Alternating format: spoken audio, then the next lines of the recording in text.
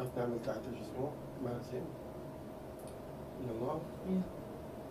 أنا كنت أشوف أبوي وهو بعزف يعني فطموحي صار إني أصير زيه وأعزف و... وأتمكن آلات أصير أهندس وأوزع إن شاء الله قريب. وتعلمنا على آلة الناي وتعزف أعزف على آلة الناي وعندي موهبة أكتر من هيك أنا أعمالي متنوعة آه، آه، أنواع آه، وطنية وأنواع عادية. آه، بس أنا متركز أكتر على الأعمال الوطنية. من أهم الأعمال الوطنية هي اللي زي أغاني الشعبية الوطنية اللي زي زي الطول وين على الله زي الأشياء دي شعبية.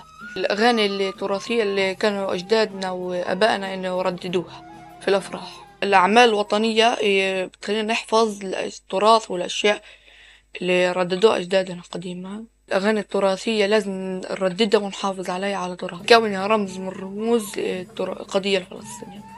أجت لي أعداد كتير من الفرص إن أقدر أشارك دوليا لكن الحصار الإسرائيلي منعني إن أط- إن أطلع أشارك. أنا بطمح إني أشارك في دوليا في الأعمال الفنية. لكون الفن وسيلة من وسائل المقاومة الفلسطينية شاركت في مسابقة هي إني وأخذت المرتبة الثانية فلسطين. مسابقة من المعهد الموسيقي شاركت فيها في الضفة والمدن إني أخذت فيها برضو أخذت في المرتبة الثانية على فلسطين.